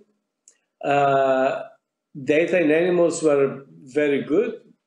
Uh, we are about to go into phase one clinical trials, but by, by that time, the uh, outbreak, which was mostly in Canada, the one which was uh, actually uh, uh, the most prominent one, basically the outbreak finished, SARS was finished, and uh, nobody was interested anymore in developing a vaccine for uh, SARS. So as far as I know, that vaccine is, must still be on the freeze, in a freezer somewhere and, not, and has never gone into humans.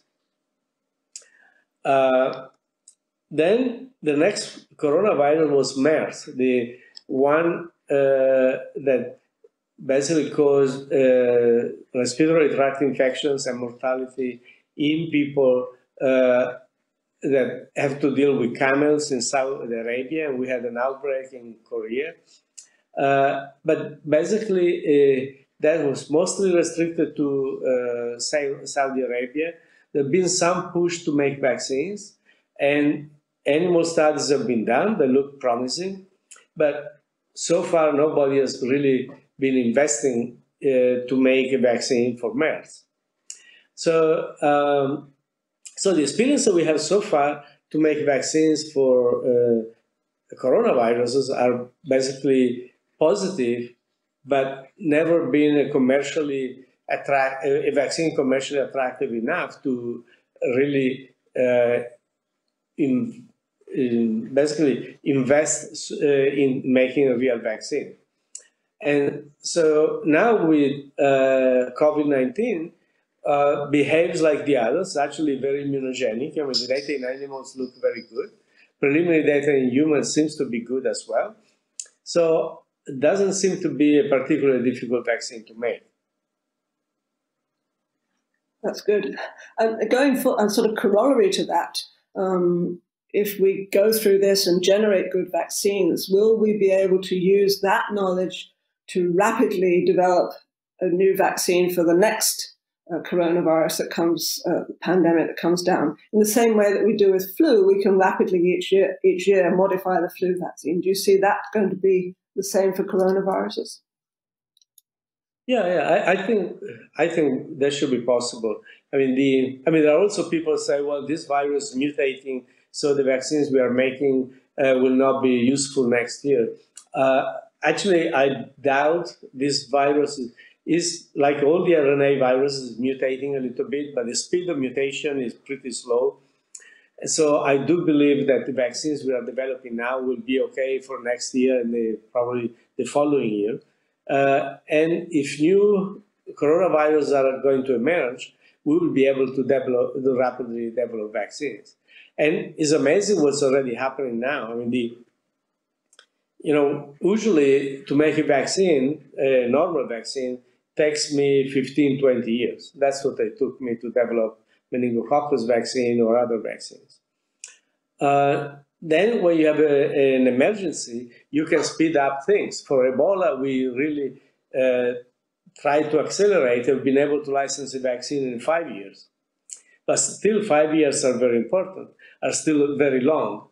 Uh, but we learn from Ebola and the new technologies now they allow us to speed up more. And now we are thinking to have the first vaccines in one year which is incredible. I mean we have been in the clinical trials with moderna in 63 days. That's incredible. So I, I think between the technologies and what we learn from ebola and what we are learning from this one uh, in the future we'll be more prepared for uh, this kind for this kind of events. Great, thanks. Uh, Chris, so modeling. Um, obviously, uh, there's a lot of interest in, in, in modeling the, the, uh, the rise of the epidemics, but also, of course, the decline and what happens when you release the pressure and the lockdowns. So you, you show some data, obviously, mostly at this point, you've been looking at the effect of the lockdowns on flattening the curve. Have you been able to see in the yet in the jurisdictions where the lockdown has been removed? You see uh, the changes and the increase again. You see that in the Italian data.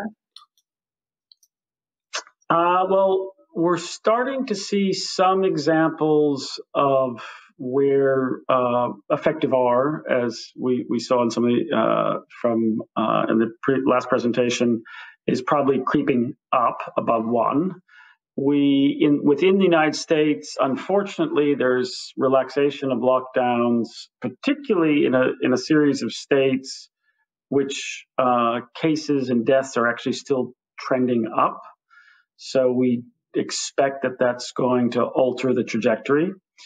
The challenge we have in the northern hemisphere is that you have three things going on at the same time, which will drive the result. You have the social distancing mandates, uh, they're starting to come off. You have likely some seasonality, lots of uh, debate about how big that seasonality is. Our best guess right now is that it's nothing like flu and looks much more like the general seasonality of pneumonia. Which means we should expect, you know, uh, a slow decline in the northern hemisphere and a slow increase in the southern hemisphere. Uh, and then, of course, we have the rise of testing and the use of testing as a containment strategy through, uh, you know, test, trace, and isolate strategies. So you have this sort of balancing act. And so what's happening now in the places that relax is a little bit hard to, to disentangle from the scale up of testing and this somewhat warmer weather. Um, so I, I think all the groups that are sort of looking at the models right now think the next in the northern hemisphere the next two weeks or so will be very informative. Will we see in the places that should be increasing because of relaxation? Are we going to see the the you know the expected numbers? Now, uh, just one comment that complicates it all is that the rise of testing itself, uh, which has been really quite brisk in Europe and the US and South Africa, as we saw, uh, creates a false trend in the cases uh, because we're we're detecting more of the mildly symptomatic or even asymptomatic cases. That's creating a trend up in case reporting and that can give you the false impression that R is over one. Uh, and so a lot of what we do is actually trying to focus on the trend in deaths or at least calibrate the trend in cases to adjust for the increase in testing. When you do that, we're, we haven't yet seen sort of explosive growth yet. I mean, the, the recent rise in cases in Iran is perhaps one of the more concerning increases. Uh, but again, that coincides with a big increase in testing. Mm-hmm. Okay. So um, you mentioned uh, when you were talking about the different ways that uh, communities have spread and the focus where you get a larger spread in long-term care homes. We've seen this in, dramatically in Canada, where there really are, you know, 80% of the deaths in Canada are in long-term care and other kinds of confined uh, spaces. Uh, and then you heard from South Africa, you know, even supermarkets can become a, a community spread. So you have this general community spread, and then you have this this almost separate pandemic in these environments. Do your modeling take account of that? Can you take account of that in any way? You know, when we started off modeling for the state of Washington, uh, where the initial epidemic here was in a elder care facility uh, and came quite early, we even at the beginning we start we modeled them as a separate population, and then we started to try to model all nursing care facilities uh, we we stopped doing that at some point just because of the logistics of it. But given where we are now in the epidemic, where so many of the cases currently in this environment in the United States are either prisons, certain factories, or nursing facilities, nursing care facilities. Uh, as we move down to the very local level, that is one of the strategies that we're thinking about. It, it makes the modeling more challenging. Uh, and you have the whole issue of seeding of those. Um, or to put it another way, what we're learning from a place like New Zealand that has, you know, been very successful at controlling transmission, very extensive testing and contact tracing, is these large transmission events, the sort of super spreader events, may be accounting for a large fraction of transmission. In New Zealand, it's about half. Half of all infections were from a very small number of super spreaders at large gatherings. And that then adds, uh, you know, a dimension of the sort of chance happening of that, uh, and that being important. It also has lots of implications for, you know, minimizing risk, particularly by restricting large gatherings. Great, thanks. And I'll turn now to the, the. So, um, obviously you gave us a great story of what's happening in South Africa, and I guess my first question was, I think I think I know the answer. Uh, I wrote the question before I heard your your talk, um, and that is, you know, South Africa, the the infection got there later. Um, have you learnt uh, from what, our mistakes that have happened in the other countries? Has did South Africa really learn what not to do to do it better? So I'll just uh, start by uh, saying that we spent uh, quite a bit of time learning from our colleagues in China. We spoke to colleagues in Europe about their experiences. We had uh, uh, video link webinars and seminars with our colleagues in, in several other countries to learn from them. But I think there's something about making your own mistakes. we are certainly making our own mistakes as well, and we're learning from that. Uh, I, you know, I chair the, the Ministerial Advisory Committee on COVID-19, and I described it as, you know, we are uh, sailing the ship as we are building it. Because if you ask me what's going on, if you if you talked to me two weeks ago about COVID 19 and children, I would have said, well, it seems to be a pretty mild disease. You know, there are very few hospitalizations or deaths. And then, of course, this week, WHO describes a whole new phenomenon of vasculitis, and maybe we've just been missing these, these kids. So it's, it's, it's a very rapidly growing field. And I can say that we've tried to extract what is the best evidence available. We've drawn very heavily on the World Health Organization. We've drawn heavily from other countries' experiences, and we've tried to, to do what we could to, to try and get the benefits that they have. But in addition, we do have additional strengths, and I think Quarraisha described them very well. In that, because we already deal with two large epidemics in South Africa, tuberculosis and HIV, we have an existing infrastructure to deal with epidemics. And so that becomes, you know, our past adversity is in many ways now one of our advantages. And then Quarraisha wants to comment as well. Uh, I think, uh, Salim, you've uh, covered the issues well. So maybe let's see if Janet has other questions. Yeah, so so I guess um, raised the issue of uh, he had some puzzles in his data. He was puzzled about sub-Saharan Africa. So I, I, guess I'd like to ask you if you can solve his puzzle for him. Janet, give me the tough question. um, you know, um, as much as we've had incredible political leadership uh, and very timeous interventions from the very beginning uh, from the very first, even before the first cases were reported, there was preparation going underway as we started to learn about what's going on in Wuhan, etc. And one of our big concerns was that we have large HIV and TB epidemics. And we know that the high morbidity and mortality rates that we see in the older populations are linked with comorbidities um, like um, respiratory illnesses, like cardiovascular diseases, or, and related conditions, and also some uh, different forms of immunosuppression.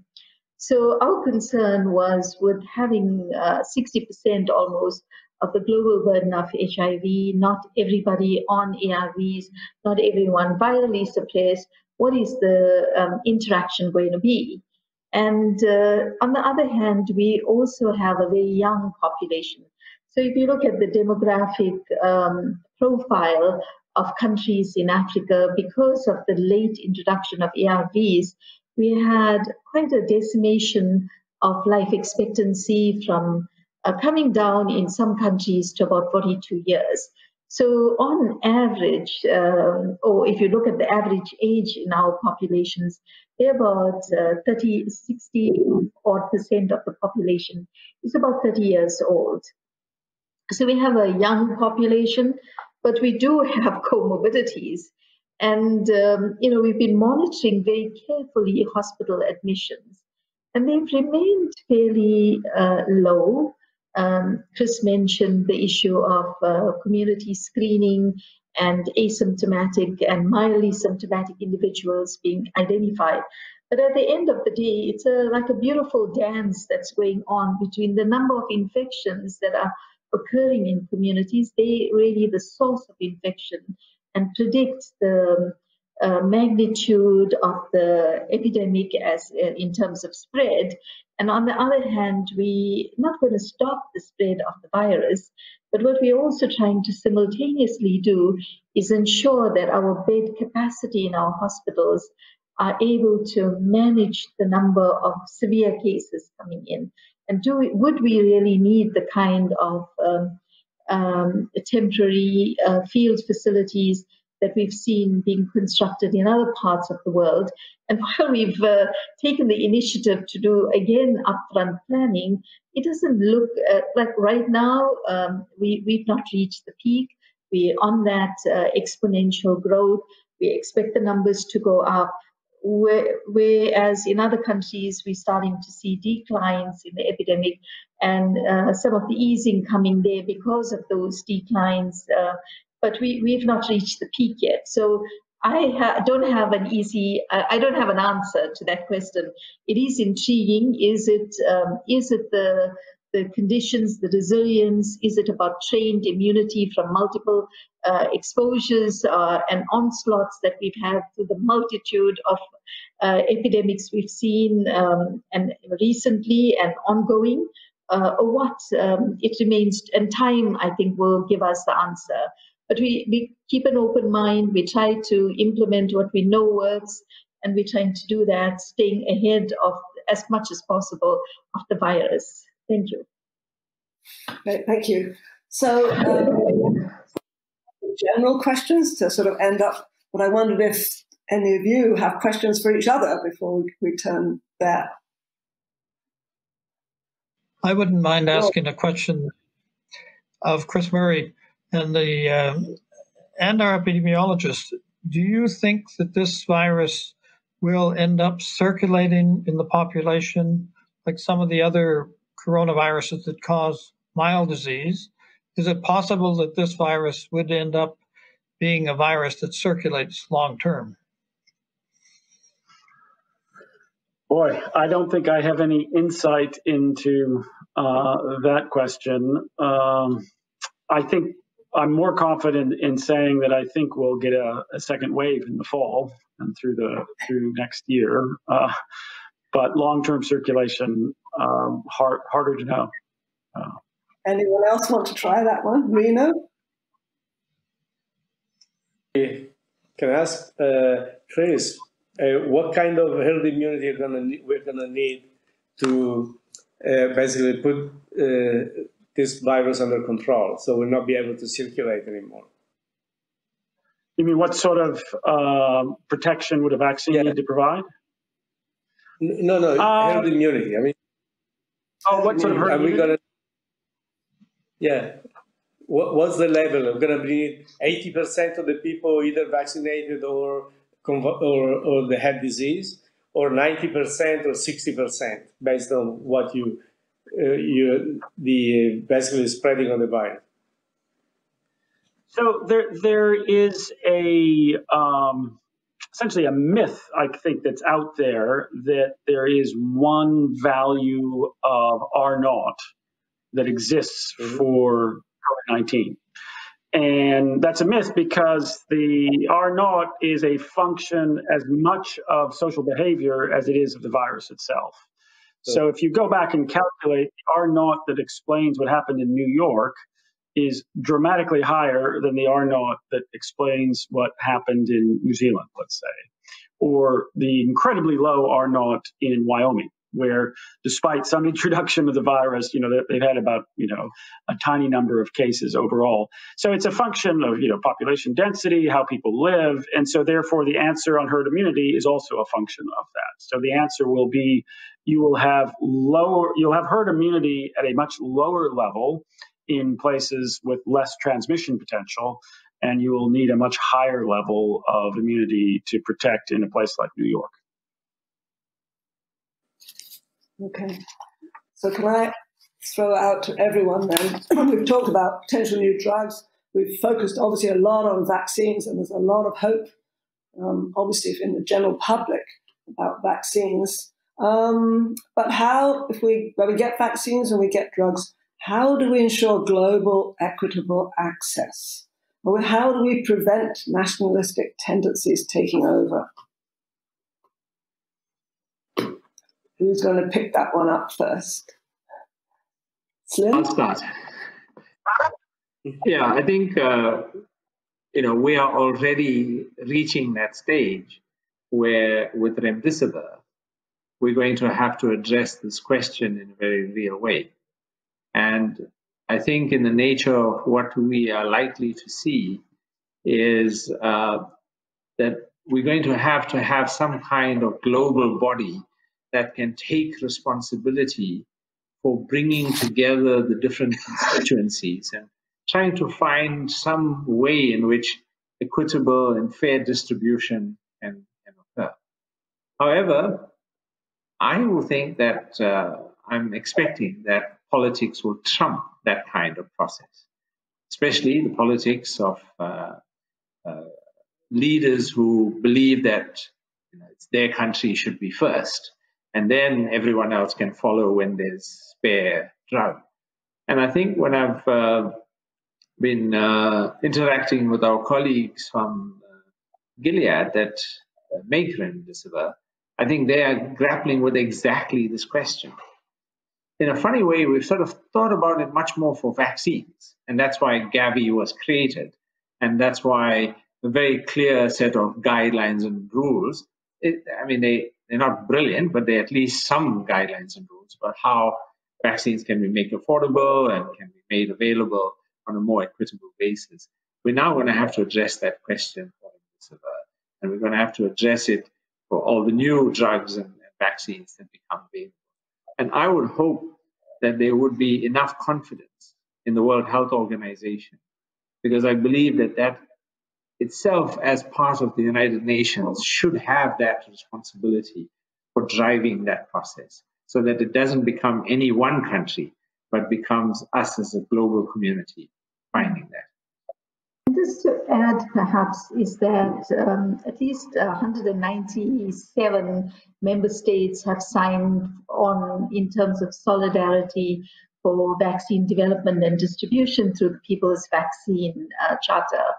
And that was signed about a week ago. So I think that uh, lessons we've learned in the past is certainly being used in terms of thinking about access and equitable uh, distribution.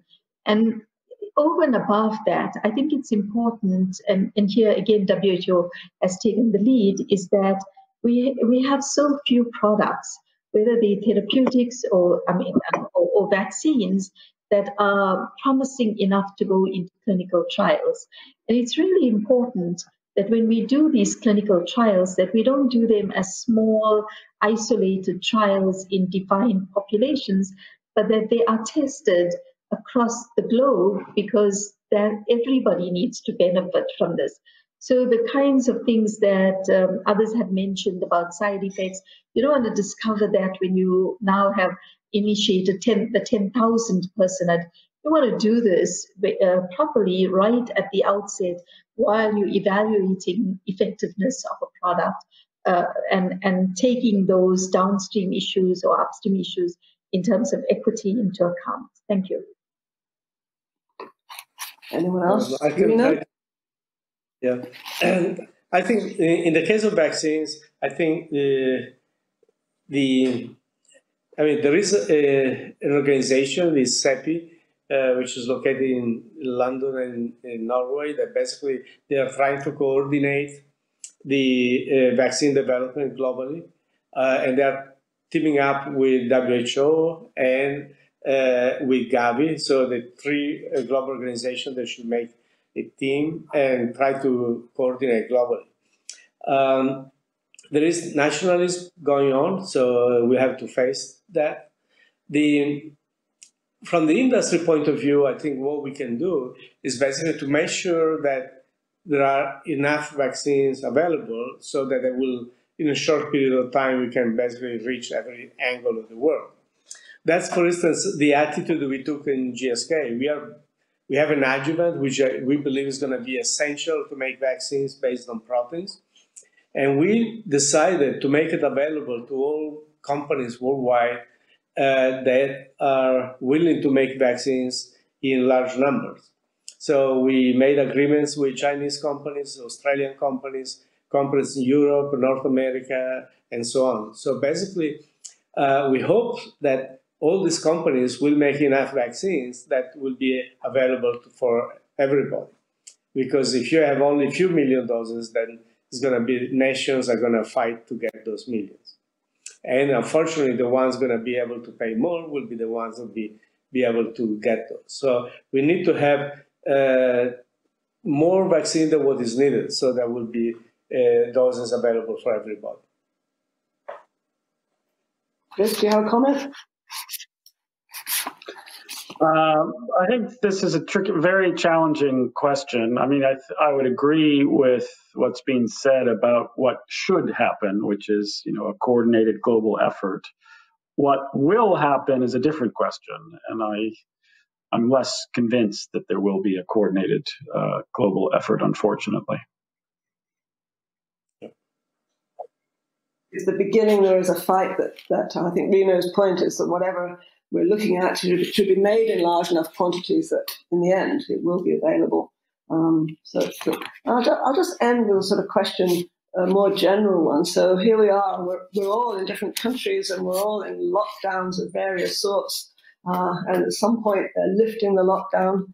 Um, but what's the world going to look like when we actually come out at the end of this? Will we have learnt things? Will obviously things will change, um, but particularly, I think the COVID uh, crisis has really accentuated and shown us in stark terms how the vulnerable and disadvantaged populations around the world, and, you know, in and even you know, in our own countries, uh, get are really suffering from this disease, from the health aspects and from the economic aspects. So, will we come out with long-term solutions to some of those, or are we just going to go back to what we were doing before? That's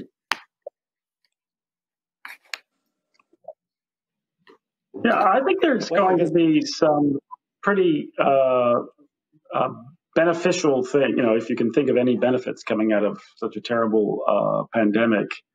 I mean, one thing that's emerged is just the extraordinary value of daily data. If you think about it, it's really quite incredible that the world is now attention turns to data from yesterday. You know, how many cases, how many deaths, how many hospitalizations, as opposed to data from two or three years ago, which, you know, when there's a DHS survey in global health and it gets analyzed and the results are from about three years ago, uh, you know, we've, we've turned a totally different framing about the value importance of data and i'm hoping that that will actually continue as, as in, into the future and put everybody on a, on a sort of more sound footing. Uh, the other one that i think is going to make a big difference to the research community is we have demonstrated not so much i guess for the lab sciences but for others that uh, remote or digital work is highly effective and there's really no longer any reason to think that you need to have everybody sitting in London or in Oxford or in some university. I think it'll it'll makes it much more likely that we're going to see effective research, you know, collaborations uh, on a much more equitable basis around the world because the technology has made it really quite feasible, at least for those who have access to the internet, uh, to be highly effective in distributed settings. And I think that's a lesson that people didn't really believe, and, and now it's so clear uh, that it'll probably have a lasting effect, at least on the academic community. I think the academic community will stop doing so much travel. We will not be going to conferences. We will be having our conferences like this one online. Uh, Rino, comment on what you think the post-COVID world is going to look like? Well, the uh, I think the I, I will focus on the technology part and vaccine development, um, and the I, I, think it's never happened before that in a few months we will learn so much about this virus. Still, is uh, we don't know very much about it, but I mean we accumulate in three months basically knowledge that for HIV took ten years, and uh, and is is remarkable. Now, we have been able to accelerate vaccine development, drug development in an incredible way, going to clinical trials. We've done in 60 days things that usually take years. Uh, and that's because there is a global collaboration. So it's uh, uh, the regulatory agencies, uh, the manufacturers, uh, the, uh, the, sci- the, scientists, basically they all are one team and they collaborate, they talk every day, and things move. Uh, and the question is, are we going to learn these things going to be fast in the future? Uh, I remember when we had the H1N1 pandemic in 2009.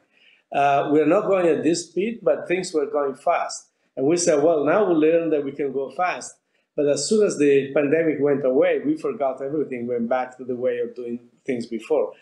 Uh, now, I think this one is quite different.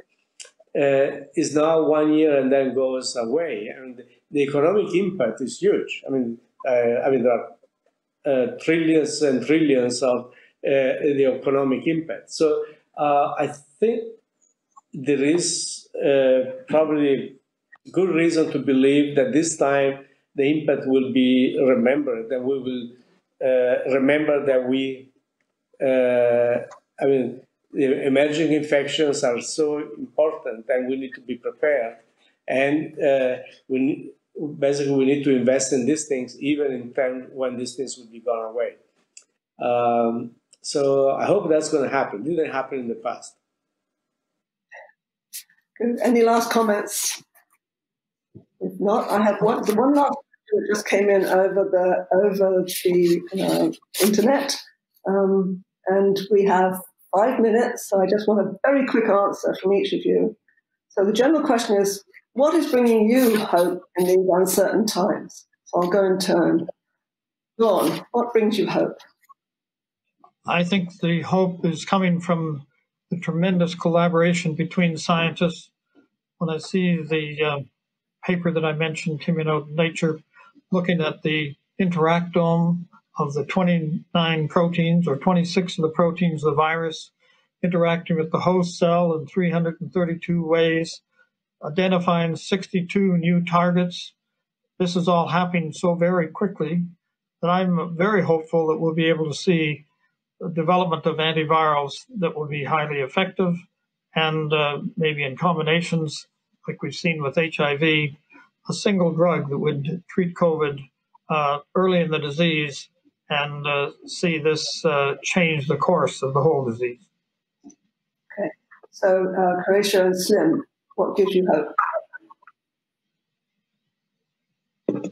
The, um, uh, the global solidarity and collaboration uh, in terms of scientific advances is, you know, simply breathtaking. But I also feel that as individuals and communities, the way we've responded to the epidemic, quite often taking the, the, interventions that we are adopting is not so much about protecting ourselves, but also about protecting others. And this sort of caring for each other to me is very optimistic, despite all the realities of the, uh, disparities that have been long-standing and shown up again. So I think that comprehensive response of balancing public health with uh, social protection and looking at uh, and not uh, compromising um, livelihoods while we try and respond. Thanks. Thank you. I'm, go- I'm going to pass on Salim. We have to go that one. Rino, what would you hope? Well, the, I, I think uh, all these difficult moments are always opportunities. And the opportunity here has been several fronts. One is science and the way we work. Uh, as I said before, I mean, during the last two or three years, I was organizing meetings uh, with entitled Transforming Vaccinology. I wanted to get vaccines faster, uh, done differently, more collaboration, more things, uh, using the latest science. And I was organizing meetings. People were saying yes, but it was going to take forever to get there. And now this virus really transformed vaccinology. I mean, it's really, I mean, it's done. It's already, I mean, in three months. So that's already push. So I think uh, this is going to improve the, thing, the way we're going to do things in the future. The other thing, which has been mentioned a little bit, I think this virus shown us that we can do things differently we can collaborate more remotely. We can work. Uh, a lot of people can do social working. They're actually very effective. They don't need to be every day in the office. We uh, uh, and we can learn from that. I think that will change. But probably the most important thing from my point of view, uh, I mean, we are all worried about our planet. The fact that basically we are using more resources, and we are polluting this planet and may not be sustainable. I think what we've seen is that I mean, has been enough to have a little bit of social distancing to get the planet uh, resilient again. And so basically, the pollution has gone down, the uh, water in Venice is clean. I mean, it's amazing. And the, the animals are walking in the empty cities. I mean, it's, it's amazing. So I think uh, the hope is that we'll learn that the planet can go back and we can have a healthy planet for, for us and for the future generations. You just need to basically give up a little bit of the crazy life we used to have before COVID. Hey, Chris, you get the last word, and we're down to one o'clock, so short. uh, well, I think the amazing thing to me is we went through a long period where sort of science was being downplayed in the political sphere. There was a really strong culture of almost anti science. And now we have an environment where politicians of all stripes are asking for constant input from the scientific community, looking to the scientific community to bring new drugs, new vaccines, new solutions. So I think that the the sort of prominence of science now in public discourse and at the center of you know everyday's news is gives me some optimism for the future. Great, thank you. And that's really about where I was going to go too. And the Gairdner Foundation, of course, part of our mission is to sort of raise awareness of science and the importance of science, celebrating scientific excellence, which is demonstrated by the people we've had on the panel today. So thank all of you very much indeed. I hope the audience has enjoyed the session. It has been recorded, so it will be available on our YouTube channel. Uh, and please check our website, uh, check our Twitter, Facebook, Instagram accounts uh, for information on future events. So stay well, stay safe. Goodbye.